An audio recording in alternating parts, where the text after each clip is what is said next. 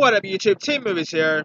Well, CBS is going back to reboot, to uh, pretty much reboot another uh, 1980s series, and that is The Equalizer.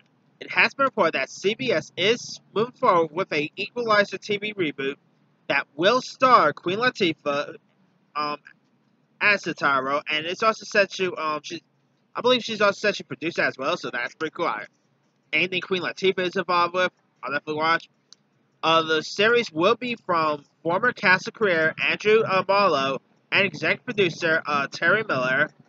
Now, The Equalizer, of course, ran from uh, 1985 to 89 and starred uh, Edward uh, Woodward as a uh, retired intelligence um, operative who uses like his uh, training to help people out of uh, difficult situations.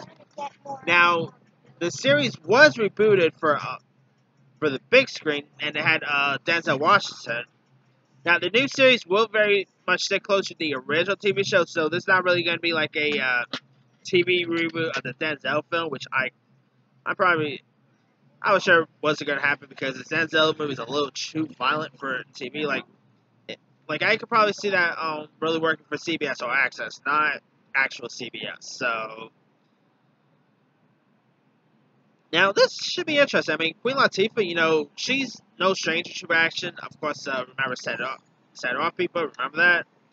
And CBS has been pretty big with rebooting classic, uh, you know, TV shows, whether it's, uh, of course, they, uh, re they uh, rebooted uh, MacGyver, Magnum P.I., uh, Hawaii Five-O, so this is another one on their plate that could probably be interesting. But, uh, hey, it's starring Queen Latifah, so I'll definitely check it out.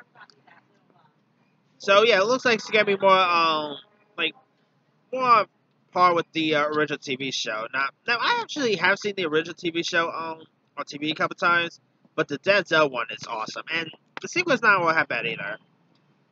Anyway, uh, Queen Latifah, of course, uh, now she recently was on TV not so long ago. Uh, if you remember, she was on that um Fox TV show Star, which I which ended up getting canceled, which still stinks.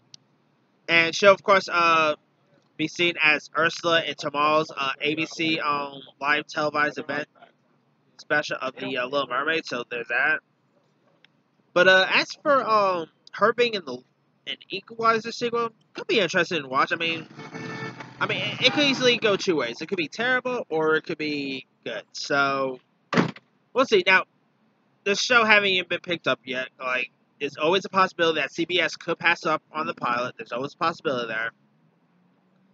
But uh, let me leave it to you guys. What are your thoughts on Queen Latifah starring in a TV reboot of The Equalizer?